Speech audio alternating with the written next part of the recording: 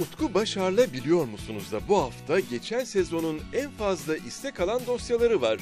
Süper Lig takımlarının sembolleri nereden geliyor? Beşiktaş neden Kara Kartal? Fenerbahçe neden Sarı Kanarya?